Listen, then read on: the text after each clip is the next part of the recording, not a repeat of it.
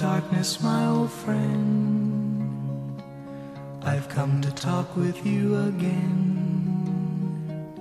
Because a vision softly creeping left its seeds while I was sleeping.